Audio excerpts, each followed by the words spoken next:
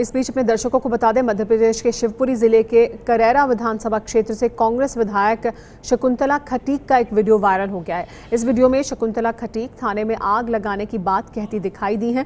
दावा है कि कांग्रेस विधायक का ये वीडियो मंदसौर गोलीकांड के खिलाफ करैरा बंद के दौरान का है। विधायक की पुलिस और प्रशासन से नोकझोंक भी हुई। शकुंतला खटीक ज्योतिरादित्य सिंधिया की करीबी मानी जाती है। आपको दिखाते हैं वीडियो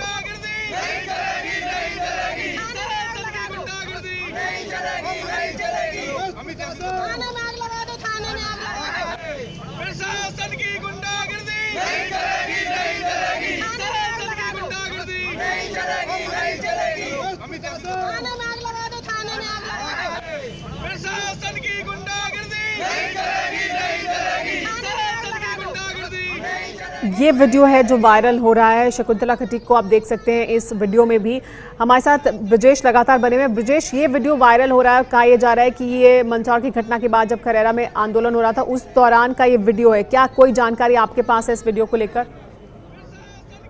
देखिए, निश्चित ही ये वीडियो पिछले दो तीन दिनों से वायरल हो रहा है। जैसे हम कांग्रेस के एमएलए शकुंतला खटीक लोगों को हिंसा के लिए भड़- भड़का रही हैं। हालाँकि जब उनसे बात की गई तो उन्होंने वीडियो में कहा कि इसको रोड मरोड़ के पेश किया जा रहा है और ये जो कुछ ये फेक है, वो उसको मानने को तैयार नहीं है।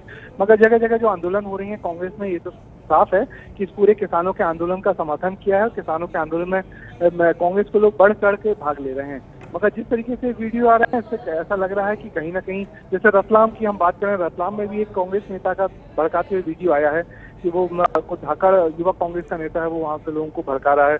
जी। तो कहीं ना कहीं चीज़ बता रही है कि सरकार को मुसीबत में डालने के लिए ये कांग्रेस के जो स्थानीय नेता हैं इन तमाम चीज़ों को बढ़ावा दे रहे हैं। हालाँकि कांग्रेस हिंसा से कांग्रेस का यही कहना है कि हमारे हम किसानों के साथ हैं मगर हिंसा के साथ नहीं है। मगर जिस तरीके से उनके नेताओं की वीडियो सामने आ रहे हैं उससे कांग्रेस के लिए निश्चित ही एक अप्रिय स्थिति बनी गई है। जी हाँ तो ये जो वीडियो है ये सामने आने से कहीं ना कहीं जो लगातार कहा जा रहा है, क्योंकि ये वीडियो सामने आया है, ये वायरल हो रहा है और लगातार सरकार, बीजेपी ये आरोप लगा रही है, मध्य प्रदेश सरकार भी और बीजेपी भी कि कांग्रेस पार्टी इस पूरे मुद्दे पर राजनीति कर रही है, किसानों को भड़का रही है। ये है एबीपी न्यूज़ आपको रखे आगे।